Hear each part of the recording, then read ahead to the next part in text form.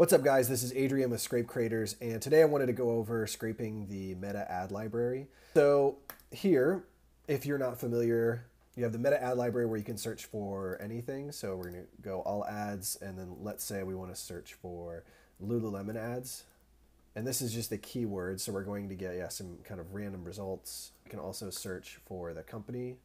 So, if we grab this one, then we'll get all of the company's ads and then very powerful because you can see if they're still active when they started running and then you can see in the json but you can't see in the ui when the ad actually stops running as well. And this you can see what platforms it's running on and then obviously like all of the copy links where it goes to.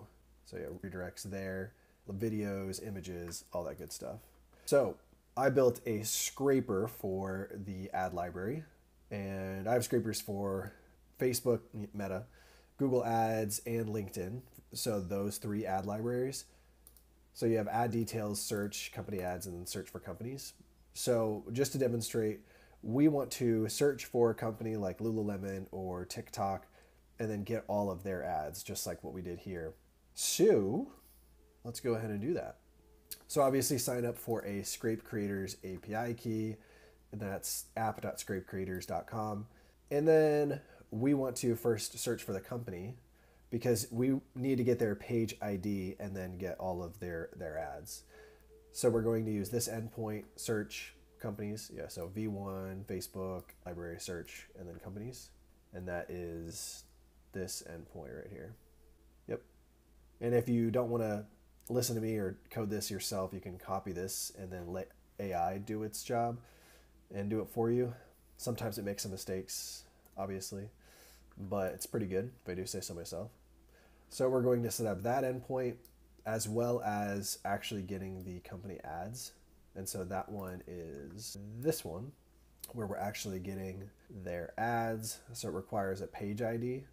And then if we want to get more, we just add the cursor to it, to the query parameters. These are all get requests. And then you can filter by country or status, but we just want to get one page of the ad. So that's what we're going to do here. We're going to search by company name, in this case Lululemon, and then we're going to get the company ID by keying into search results and get the zeroth position because that's normally going to be the actual company that we're looking for and then get the page ID. And then we're going to pass that page ID Maybe I should have called that page ID instead of company ID. And we are going to get the ads. Then we're going to log those and then just write them to our file. So let's go ahead and do it. Facebook ads. And this code is available on GitHub as well in the Scrape Creators examples repos. Boom. And then if we want more ads, we just pass this cursor to get company ads on Facebook ad library, and then we should get more. Spend, that's really interesting, right? And would be really awesome if we got, but normally this is just for political ads. You don't get the spend, unfortunately, for all of the ads, but you can see start date and end date for these ads. And to tell if an ad is doing well is if it just runs for a long time. So, so if you've ever heard of this this software called Foreplay, you know, this is exactly what they're doing.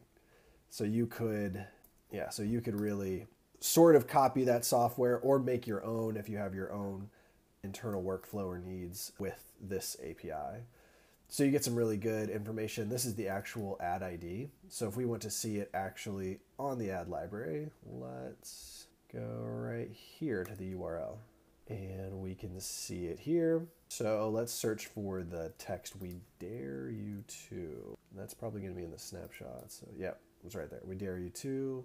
That's the caption. And here's all the, they call them cards. So I believe, yeah, these are all like the variations. So you have cards. So you'll have different image URLs, which you get right there. And then you get where the link is going to. So if you click on the ad link, it's going to send you here.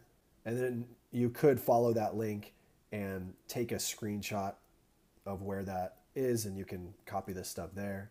Title, caption, CTA, text, CTA type, video if it's there. Yeah.